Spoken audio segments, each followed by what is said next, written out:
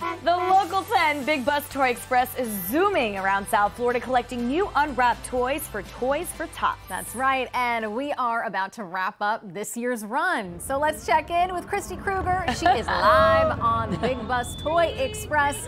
Christy, how's it going? Uh-oh. Uh-oh. Uh-oh. We had to duck for trees. oh my gosh, that was that was a close call. Trees. Uh, okay, we are actually right now, we're going to sit down. I think that's a wise idea.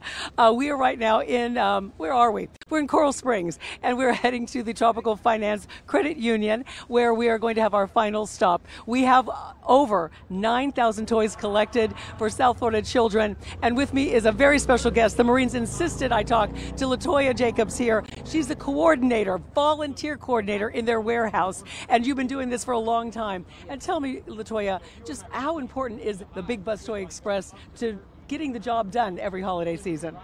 It is very important. Um, we need toys, toys, toys for our kids, for our organizations to make sure that um, the kids that don't have toys have toys this year.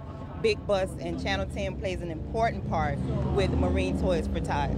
And tell me a little bit about what it is you do there. You have to sort through all of these toys. I mean, we're bringing you at least 9,000 toys, probably over 10,000, maybe 11,000 toys when all is said and done with this particular drive we have to count and sort over 9,000 toys, and uh, it is a little bit overwhelming, but it is a pleasure to do because of where it's going. Uh, well, you are doing God's work, so thank you so much for everything that you're doing. Thank you, South Florida, for stepping up and donating so many toys. If you haven't done so yet and you are anywhere near Coral Springs, come and see us at the Tropical Financial Credit Union. We'll be there from 6 until 7. I'll send it back to you guys. All right, Christy, stay safe out there.